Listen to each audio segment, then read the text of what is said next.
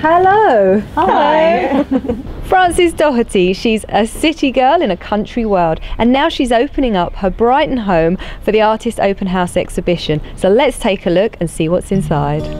I like to look right inside a plant and, and see what's happening internally. Something that I see that might be tiny, I like to make it really big. I like to play with, with the scale in the work, but my inspiration always comes from, from plants and flowers and seed pods. Some sculptures will take a week or more to build and then weeks and weeks to dry out. It's painstaking work. I just love the making process. More than the final piece, I love actually working and making the piece and coming up with the ideas. I started making work to go outside and into the garden, and that's really taken off, and I just concentrate on that now.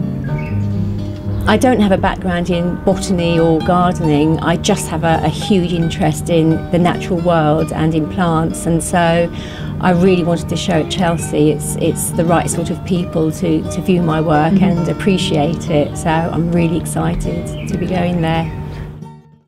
I don't think it's hard, I think it needs patience. Julie Tucker Williams makes exquisite jewellery, which frankly I should be wearing. The first thing you do is always a bit raw and and keen, and then the second time you do it, maybe you try and get a bit too clever, and it doesn't happen the same uh, comfortable way that it did before. So quite often, and I'll maybe keep the first one that nobody knows about, and then present the second one everybody kind of is inspired by nature, but also things like architecture, um, art movements, you know, the cogs of a train. I'm doing pieces at the moment inspired by uh, John Logie Baird and his televisor.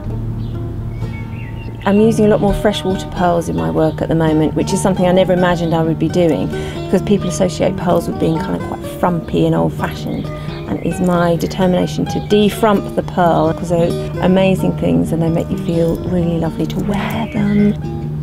You buy your basic bits of metal and then hammer and form it in a very kind of ancient way. You know, as long as we've made jewellery, we've been hitting things with metal on metal and leaving making marks on there is quite an important part of it. It just sort of tells the story of how it's been created seeing another art form, I think, really, um, and trying to capture that moment. Um, that's the inspiring thing. Jane Denman is an artist known for her line drawings of dancers that seem to be moving as you look at them. It's called contour drawing. Um, uh, there are various forms of it. There's blind contour drawing, which means that you actually draw whilst you're looking at the subject, but you don't look at the paper. It's got to the stage where I don't you can't draw things that aren't sort of moving really and that's why I've chosen the dancers. Whether I get a good drawing out of it or not is, is in that moment it's not important, it's just trying to connect. If you're not looking at the page while you're drawing, yeah. how do you know when you've finished? Um, I don't.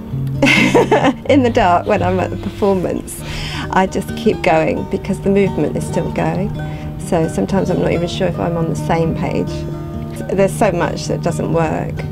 Um, and then now and then I get a, a, small glimpse of what could be